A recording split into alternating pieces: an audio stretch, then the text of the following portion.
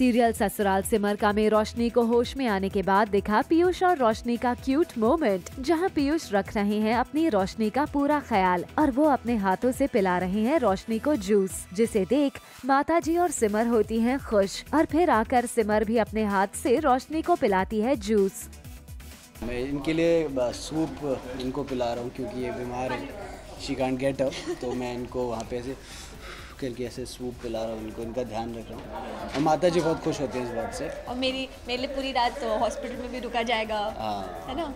चोट वोट भी लग गई है मैंने अपने हाथ में से खून निकाल लिया इसके लिए। बहुत कुछ कर रहा हूँ आजकल मैं इसके लिए। आइए अब आपको करते हैं रिचार्ज सीरियल ससुराल सिमरका में आने वाले नए ट्विस्ट के साथ। जी हाँ सीरियल में दिखेगा नया ट्विस्ट जहाँ अंजलि पहुँचती है ब्यूटी पैजेंट ऑफ़िस लेकिन वहाँ अंजलि को देख दूसरी कंटेस्टेंट्स होती हैं शॉक्ड और वो अंजलि से करती हैं बहस कि वो इस कंपटीशन में हिस्सा नहीं ले सकती, क्योंकि वो शादीशुदा है। लेकिन तभी वहाँ शो की ऑर्गेनाइजर मिसेस लिली आती है, और उन कंटेस्टेंट्स को लगाती है फटकार ये कहकर कि अंजलि इस कंपटीशन में हिस्सा लेगी। For all the Garma Garam Bollywood gossip news and more, download the Zoom app now.